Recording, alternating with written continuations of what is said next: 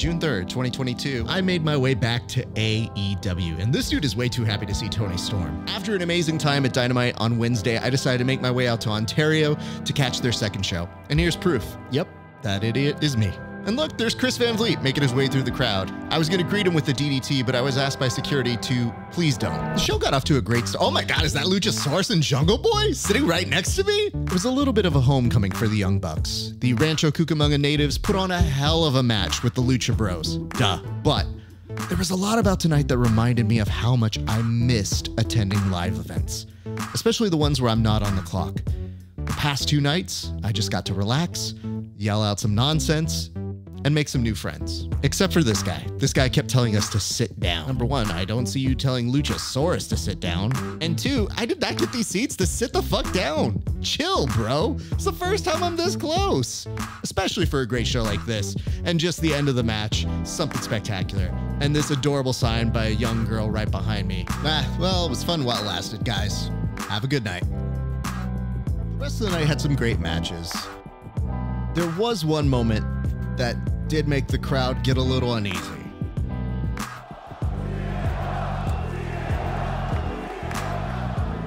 CM Punk had tweeted out earlier in the day that he had to make an important announcement about the AEW title and his career. He explained that he was going to have to take some time off for surgery, but that he would come back. I snagged this shot. I just like the story it was telling. And I gotta tell you, we'll be among the first to welcome him back so that he can show us Godspeed to you, Phil. Scorpio Sky made his way out in a great match as well. And fun fact about Scorpio Sky, he actually fought an MMA match against one of my good friends. So there were a couple times I think I yelled out something to the effect of, You don't check your kick still? Just kidding. He's great. But not only did we sing, we learned an important lesson, which is if the crowd yells out,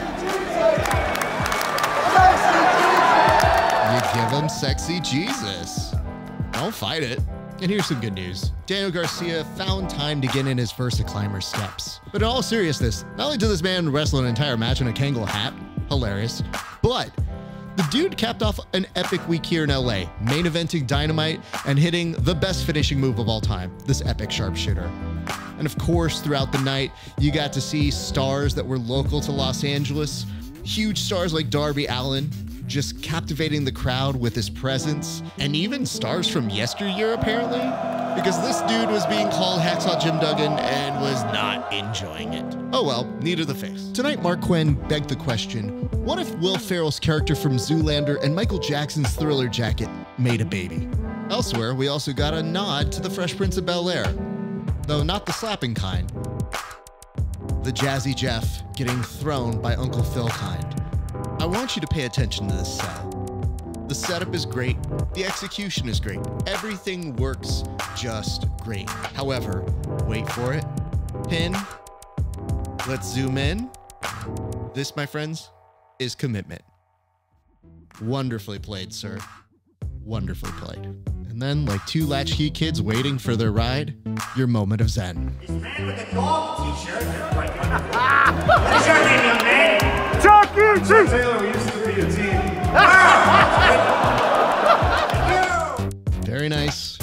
Very evil, very funny.